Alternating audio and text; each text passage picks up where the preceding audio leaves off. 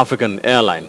The current strategy is to create locally incorporated airlines to operate services using a common branding, operational standards, as well as sales platform.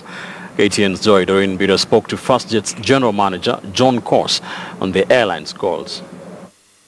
In the wake of increased airlines plying the East African skies, low-cost carrier FastJet identified its niche, the low-cost traveler. The airline chose Dar es Salaam, Tanzania as its first operating base in Africa, with flights from Julius Nyerere International Airport commencing on the 29th of November 2012, sparking a ticket pricing war in the region with relatively cheaper fares. So far, we have uh, increased uh, up to four aircraft now plying as far south as Joburg and as far north as uh, Nairobi and as far west as Entebbe. Initially, flights operated successfully between Dar es Salaam and Kilimanjaro and between Dar es Salaam and Mwanza, but the Airbus flying airline has now added to its destinations the Dar es Salaam-Nairobi route to leverage on the increased business transactions by the rising middle class.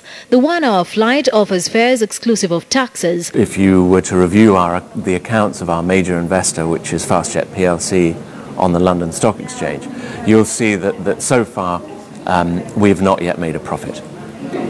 But we're hoping to break even this year.